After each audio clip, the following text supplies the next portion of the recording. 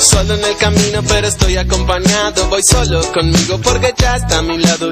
Solo en el camino, pero estoy acompañado. Siempre con la música sonando a mi lado porque ya le encontré la vuelta.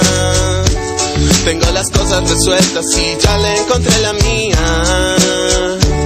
En esta dulce melodía, un solitario amor. Voy con la música, pero quiero bailar con vos. Por esta noche ya seré tu solitario amor. Con la música, pero quiero bailar con vos. Es una noche ideal.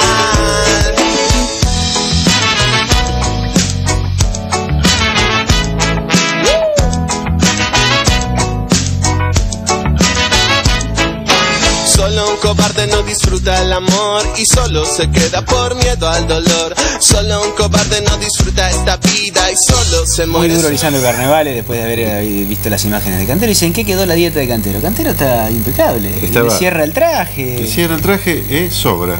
Ahí, Eh, miren. no sé, loco. ¿Sí? ¿En cuánto está? ¿85 kilos? Eh, 86. No, estoy en la categoría pesado. Pesado, pesado, un- Tengo para pelear. 93. Tengo para pelear por el título. Así que, este, ¿cómo anda Leo? ¿Bien? Bien, muy bien. Muy Todo bien, tranquilo. Un abrazo para Lichi Carnevale, ¿no? Sí, sí, sí, que está. Debe estar muy contento. Sí, no sé qué pide que muestre acá, pero bueno. Sí. Eh, ¿Me está pidiendo que muestre foto de qué? De Lisandro Carnevale. Lisandro de qué? Carnevale. En la página, ahora lo voy a Ah, buscar. bueno. Ahora voy a buscar. Eh, Acá con el futsal, como técnico de, de la. Salle. Como técnico de O sea, vi una foto donde está serio, increíble Carnaval. Bueno, ¿no? eh, le dedicamos esto a todo el plantel lasallano, eh, este, eh, las imágenes del partido entre, entre La Salle y Colón, a Agustín Rodríguez que cumple años, dice 22 el Facebook. el Agu Rodríguez, Sí, bueno, dice 22. un abrazo. Tiene- para mí tiene más. ¿Algún asado o algo? No, no sé, no- nunca ¿No? nos invitan porque no somos, no somos amigos de nadie nosotros. Nosotros somos conocidos de muchos y amigos de nadie. Eh, sí, de los hermanos Yori que están tomando algo fresco y que no nos invitaron tampoco. Sí, sí, Eh, sí. Pero bueno, le mandamos un saludo. Eh, vamos a meternos en el compacto de La Salle, largo, extenso compacto de La Salle y Colón. El domingo 16 de junio, vení a vivir una tarde con lo mejor del turf de la Patria Grande en el nuevo Hipódromo de las Flores, con la conducción de Alejandra Maglietti en la elección de la reina del turf y el gran cierre musical de Y ahora estás tú Maray. Desde las 14, entrada libre y gratuita. Bueno, un partido que se trajo todos los nervios, todas las alternativas, todas las emociones, Sí. con un Lasalle que se sacó un gran peso encima, ¿no? Ganarle a Colón y continuar con esta muy buena racha de liderar este torneo de apertura de Raúl Sí, Crespi. tien- tenía que ganar eh, porque San Justino ganó. Además, Exactamente, sí. Acá está la primera jugada. ¿Eh? Un centro de la izquierda, este, donde viene el penal. Esto ocurrió a los 36 minutos. Un centro de Gallegos. La mano de, del pibe del número 6, Nicolás Rossini. Sí. ¿eh? Que no duda Quiroga en cobrar. Y Bianco pone las cosas 1 a 0. En donde había sido un poco mejor el conjunto lasallano, con mucha acti- actitud, eh, peleando cada pelota eh, en cada fracción del campo, del terreno de juego lasallano, eh, con mucha actitud. eh, lo jugó como una verdadera final la Salle a este, a este partido. Este, algunas piernas fuertes, eh, mucha con dientes apretados se jugó. Decía el clima tenso, nervioso, un colón suelto en donde Villarruel este, y Massenfich eran los socios como para desequilibrar.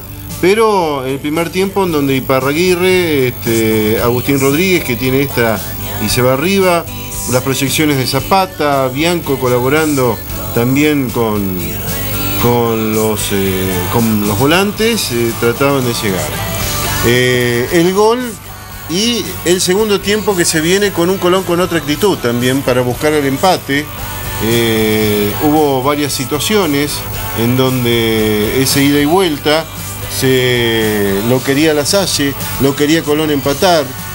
Acá hay otra proyección de Bianco en donde tiene una franca oportunidad para convertir el segundo y remató muy mal. Colón buscando su manera por abajo, con Mayenfi, con Villarruel, tratando de buscar y jugar la pelota. Una gran tarde de Diego Pretel. Sí. Hay dos pelotas que sacó sobre el final Tremendas. increíbles. Tremendas. Eh, que eh. terminó siendo la figura del partido. Ahora, el que no tuvo una gran tarde eh, es el árbitro del partido. Aquí una expulsión. Algo dijo seguramente Sí, el jugador de sí, Colón. Daniel Pérez. Ni siquiera se quejó. Daniel ¿eh? Pérez. Inmediatamente giró Patricio Quiroga. Y después hay dos jugadas polémicas Sí, yo, ¿Eh? yo a ver, donde este Colón pide este penal. Fueron sobre el final del partido. sí, sí, para mí claras, las dos. Ya la vamos a, a ver. Esta pelota donde Pariani cabecea exigido, estaba solo. A ver, poco le importa a esta, altura a la gente de la Salle, ¿no? Claro. Esto Esa pelota que saca Fasano también, esta acá. Que deben estar diciendo una para nosotros alguna vez, tal vez se han, se han un montón de veces quejado por, por, por, eh, arbitrajes. Eh, y bueno, en este caso le tocó, le tocó una favor al, al Lasallano, que es el líder, decía, de, eh, el fresco líder de, de la Liga Santafesina, porque eh, en los últimos años, si no era Colón de San Justo, era argentino de San Carlos, y si no era argentino de San Esta es una. Esa es la primera. Esta es una, sí. Una- Eh, un sí. remate que pega en Sí. eh, Bruna, en Federico. le pegan la mano. Le pegan la mano. Eh. No sé si. Tal vez no, no haya tenido intención. Le pegan la mano porque la mano sale para atrás. Claro. Eh, ¿Sí? Gira y, el árbitro estaba de espalda, por ahí no la vio, o por ahí entendió que no, no tuvo intención. Claro. El, el jugador de. Acá de hay otra, esta es pelota. clarísima. Esta es clarísima. Mm. La Eh. pelota que saca Pretel ahí abajo. De todas maneras, decide ¿Eh? rematar. eh, Y hay otra. Despacio. Sí. ¿eh? Decide rematar despacio. quiere Creo- que se imponía el remate fuerte, con los ojos cerrados. Sí, sí, una media Bueno. vuelta violenta. Sí. Acá hay otra jugada, donde piden también penal.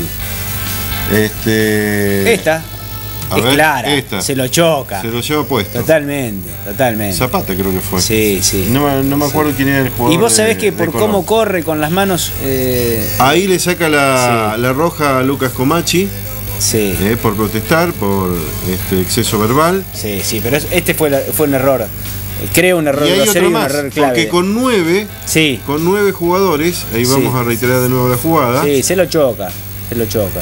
el ocho. Y no ¿Eh? es que esté que no haya podido ver la jugada, es un error de, de- de- de- de Patricio Quiroga, el árbitro del. Inmediatamente Quiroga levanta su mano para decir el, el sigue, sigue, levántese. Esta pelota, Esta es tremenda, sí. con nueve, eh, Danilo Sandrigo solo frente a Pretel, una pelota increíble, la veremos de nuevamente. Este, Pretel saca esa pelota, fue a los 49 minutos, ya cuando iban cuatro de, de tiempo agregado. Y bueno, el desahogo de los muchachos, de los chicos de, de la Salle, este, abrazándose por un lado y por el otro, las protestas, todo el mundo de Colón yendo encima de Patricio Quiroga. Y hay un civil por ahí que intenta pegarle, Entró. eh, que entró a pegarle Quiroga. Eh, bueno, siempre la, Una, cosa de loco. la locura, ¿no? Eh, a la orden del Partido de Liga día. Santafesina, recordemos que Diego Macielo también eh, fue golpeado Sí. eh, en el partido Belgrano con Juventud con Unida. Juventud Unida por un jugador de, de- de Juventud. en- Héctor López, el número 10 de Juventud Unida, a los 37 minutos, este, lo expulsa. Tengo Sí. entendido que metió una plancha violenta como Sí. para quebrar al rival, le saca la roja y el jugador responde pegándole una piña, tambalea. El mismo jugador cuando tambalea y antes de que caiga lo abraza al jugador y con la mano cambiada le pega. Tres o cuatro veces más en donde le rompe el arco superciliar derecho Sí. este, hasta que los policías lo separaron y bueno, las denuncias policiales pertinentes Bueno, del caso. ¿no? A ver, eh, seguramente ese jugador no va a jugar más, no, no, no va a poder participar No, más de torneos no, de Liga. Santafesina, eh, Por supuesto porque que ya hay algunos antecedentes de esto. Y habrá que ver cómo sale parado el club, cómo sale Juventud Unida de, de- de esta situación. Era el primero contra el último. Sí, Eh, sí, sí. Chechi Aguirre, el técnico de Juventud Unida, renunció inmediatamente, presentó su renuncia. Mañana, 20.30, completan en dos tiempos de 26 minutos en Coronda este partido de Belgrano, donde ganaba, recordemos, Sí. ganaba Belgrano un tanto 1 a 0. contra cero. ¿eh? Bueno, vamos a escuchar a. Ah, Manuel- perdón. Sí. No va a dirigir Macielo, va a dirigir Maximiliano Moya. Maxi Eh, Moya. Maxi Moya. Bueno, eh, eh, vamos a ver y escuchar así a Manuel Méndez y a Nicolás Bianco, dos de los jugadores las allá. En la región tenés tu exclusivo concesionario Yamaha. Motolatina. Repuestos, atención mecánica, la mejor financiación, entrega inmediata. Motolatina. El camino más corto a tu moto soñada. Todavía no caí donde estamos, no lo puedo creer. El partido hoy fue increíble. Lo que era hoy adentro se sentía que todos los jugaron a mil. Era el partido y lo ganamos y bueno, seguimos prendidos. Vamos a ver qué pasa para el final ahora. El desagoto total dentro del vestuario. Sí, viste lo que era eso, todos los vagos llorando, eh, los técnicos llorando, los chicos llorando. La verdad que no lo puedo creer y ya me voy a romper yo. Pero se ganó una verdadera final hoy. y creo que era una final porque ellos estaban un punto. Tienen muy buen equipo, se vio dentro de la cancha, tienen toque, tienen desgaste, tienen presión, tienen todo, pero creo que hicimos un partido inteligente y lo pudimos ganar, ¿no es cierto? Y bueno, sacarle cuatro puntos, que, que es bastante importante para las cinco fechas que quedan. Se sacaron un gran peso encima. Eh, sí, porque sabíamos que este era un partido muy importante. Si perdíamos hoy iba a ser muy difícil hacia el final. Como ganamos, vamos a ir peleando como, como venimos hasta ahora. Una final terrible, nos jugamos la vida y por suerte, eh, después de un partido tan importante como hoy, podemos mantener la punta. Bueno, ese grupo de amigos se recibió, se recibió de hombres hoy. Sí, fue una prueba dura, fue una prueba dura que gracias a Dios la supimos pasar y, y esperemos que nos dé el cuero para terminar el torneo lo más arriba posible y si Dios quiere poder, poder dar la vuelta cuando falten todavía cinco fechas. Gritaste con todo el, el banco suplente. Y sí, porque somos 11 lo encontramos, pero, pero acá lo que jugamos somos 20, 22 jugadores que somos los que estamos tratando de hacer algo importante para el club y, y por ello nunca lo había gritado con ellos y lo- por ahí me jodían, qué sé yo, entonces vine, vine y lo grité con ellos. Quedan cinco finales. Quedan cinco finales, cinco finales y son todos los partidos de la liga son durísimos, cualquiera le puede ganar a cualquiera y nosotros, nosotros no somos la excepción, así que espera- eh, esperemos que, que podamos sacar este partido adelante. Bueno, están eh, disfrutando del cumpleaños de Agustín Rodríguez los jugadores de la Salle, me cuentan Ajá, por acá. muy bien. Eh, un Rodríguez alcoholizado, habrá que ver cómo llega. un saludo a Pepe supuesto. Moncada, eh, que siempre nos mira, que le mando un gran saludo a usted también. Un gran, abrazo para el amigo Pepe. Y a. Gaby Arbuato y toda la gente del Estud de Juan Alberto Márquez, que también. Le Viene una gran Yo carrera. saludo para, el este día- domingo. Para este el. Día del Padre. Saludo porque a veces me invitan a comer asado. Ahí hace mucho que no me invitan, pero bueno, en algún momento van a invitar. Ya van a. Ya van a, Ya van a- sí, sí, porque Sí. los martes es martes de reclamos. Lo- sí. eh, Tito los- Mernes sigue de vivo. Bueno, los antiguos. Este, No, sí, sí. Mo- Moroso, el, el moroso mayor, Sí. eh, es Chiquito León, y a quien lo quiero muchísimo. Este, Pero no tipo como aparece. poco, pero No aparece. me tiene verseando con una. eh, tiene una casa en Rincón, me dicen aquí. Y Tito Merne, que nunca tampoco. No, no, no aporta. no aporta. Diego Pretel es uno que sí aportó en el programa, en el programa. En el partido del sábado fue una de las figuras de la Salle.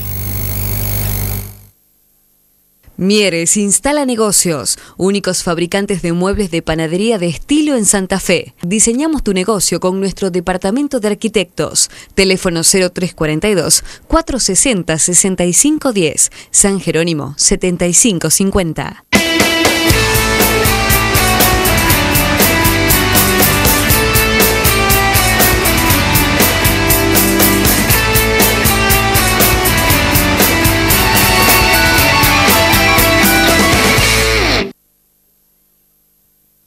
No lo podemos creer. Dimos todo en la cancha. eh, no, no tengo palabras para agradecer a, lo- a los compañeros de lo que dejaron dentro de la cancha. Y bueno, se nos dio, se nos dio, seguimos punteros y esperemos seguir por esta racha. Un gran paso, ¿no? Que han dado. Sí, un paso, seguimos arriba, le sacamos cuatro, pero esperemos seguir así por este camino. Hoy se ganó una final. Falta para final, faltan cinco fechas todavía. Sí. Faltan cinco fechas. Falta una banda. Hoy el, el grupo de, de amigos se convirtió, se convirtieron todos en hombres. Partido a partido me siguen demostrando que es un grupo de amigos y, y van así, así hasta el final, no vamos a bajar los brazos. Bueno, eh, eso es lo que hay que re- rescatar, la actitud de pelear cada pelota como si fuese la última. Así es, eh, es la última y, y vamos a ir para adelante a ver qué pasa de acá de estas cinco fechas que quedan.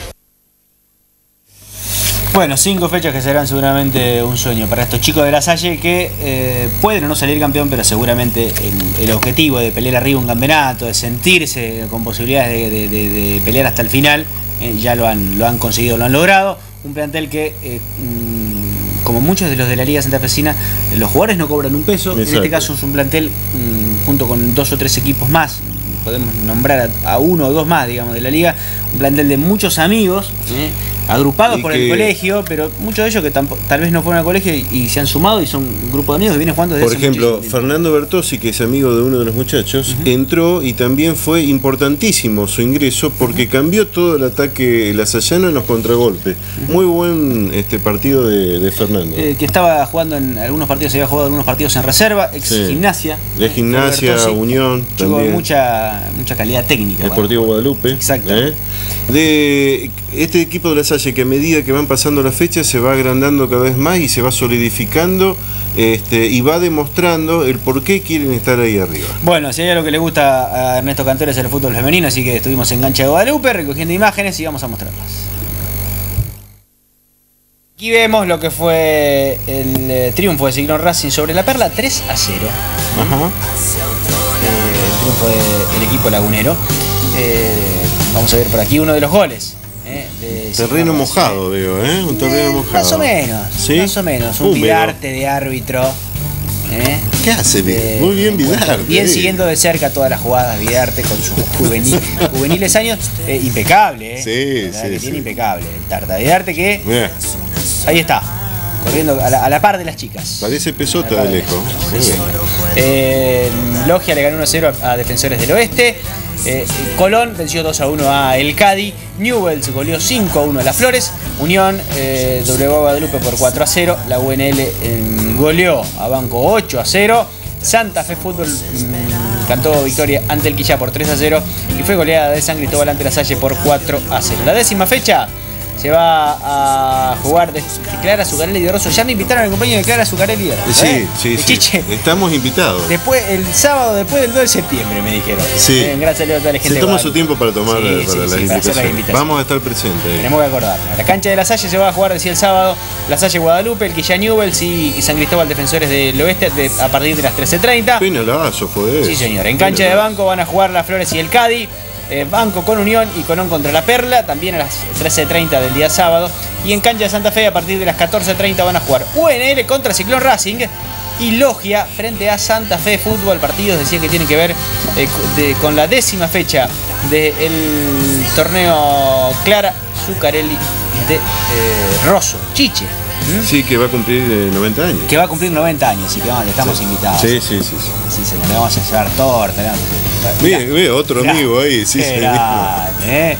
Muy Todos, bien. A plenos, ¿eh? en la fría tarde del sábado, ¿eh? en cancha de Guadalupe, mucha gente también que fue a las tribunas que va a ver a las chicas. Siempre acompaña, ¿eh? Mucha sí, gente, sí, ¿eh? estaban las dos tribunas, ¿eh? la Mucha familia. y la local. Sí, sí, sí. sí. Muchas seguidoras de Ernesto Cantero, muchos saludos siempre para, para usted por allí.